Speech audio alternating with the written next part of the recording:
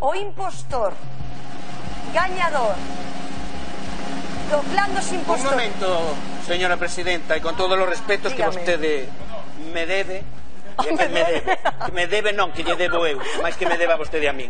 Eu quería dicirlle, se non lle molesta, que xa que a nosa madriña do clan está aquí presente e ven, digamos, para pechar isto, porque non ela sexa a que diga quen é o gañador ou gañadora do clan. Pois sí, totalmente da Parece que ben. Favor, Soraya. ¿Sí? Soraya, sí, sí. o momento é teu se tes a honra de facelo. Redoble, redoble. Bueno, yo también, yo sí que también... Madre mía, que diga. Están nerviosos, están nerviosos. Antes, antes de decir el ganador, yo también me gustaría dar las gracias a todo el equipo Daros la enhorabuena a cada uno de vosotros, incluidos presentadores y compañeros, porque habéis Gracias. hecho un programa, un programa que, como hemos estado recordando, habéis estado recordando en todos y cada uno de estos eh, días en el plató, estamos todos en un momento difícil en España, en Galicia, en todas las comunidades, y este tipo de programas nos alegra la vida. Así es que Muchísimas gracias, Soraya. Sí, señor. Muchísimas gracias. E agora sí, agora sí. Por favor, non esperemos máis que eu non aguanto venir. Bueno, pues ahora ya sí que se me ha dicho el ganador o la ganadora. ¿Estáis agarrados? Pues ahí voy. e lo voy a decir en galego. Vale. e o impostor gañador deste clan dos impostores é Pili Pantín!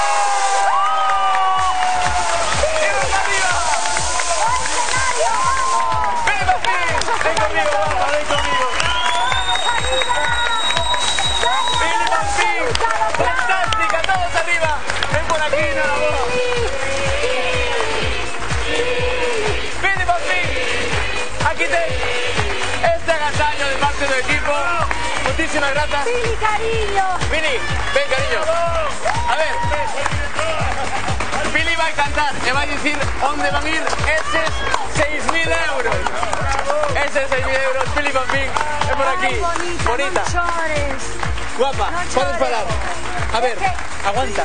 Mira, por si no puedo, voy a decir una cosa. Fili Pampín, a parte, ten o mérito de que fixo máis da metade dos programas do clan na liña da ciática, verdade, Pino? Un valor E aquí está, porque é unha profesional. No. Agora xa, aí está o teu Pensei que non daba acabado. Porque Para onde van? Me teñen que operar, xa, me teñen que operar. Claro que sí. Estuve esperando acabar os programas. Teño un problema nervio discal. Pero 6.000 euros voullos a dar a unha vollos a dar en Santiago de Compostela Toma cariño. A cociña económica que lle fai moi, moi, moitísimo, moitísimo. Fantástica, 6.000 euros que se van. Unha cousa soa desexámosche todo o mellor para esa operación porque a xente boa como a ti ten toda a enerxía e todo o cariño do público. Gracias, Pili. E a todos vostedes, señoras, señores, que ata aquí chegou esta edición, esta primeira edición do Clan dos Impostores. Pero non se me despisten, porque en nada un novo clan estará cantando ou botando unha man a quen o precise. Quen sabe onde? se son vostedes. Onde? Onde? Aquí, aquí. Vémonos no, no Clan dos Impostores. Impostores. Nico,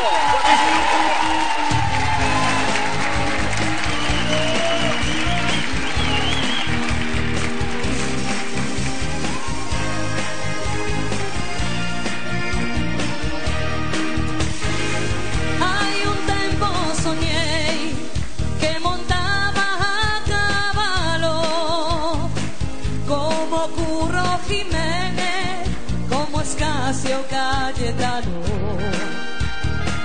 Desde en donde viví, arriscó y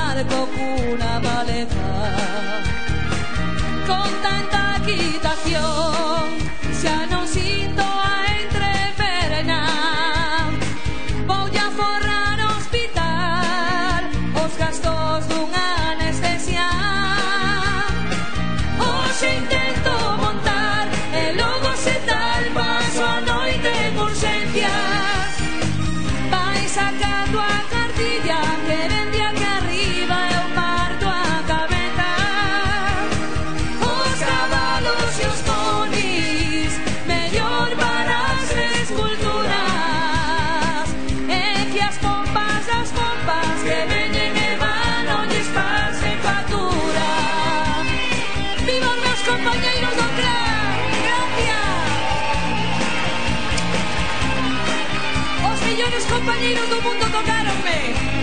Imposible milloralo Arriba!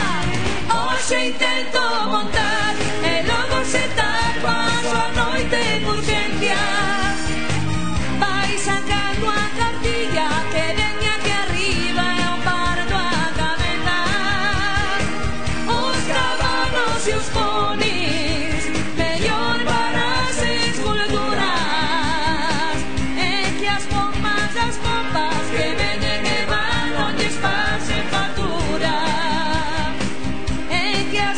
gracias copas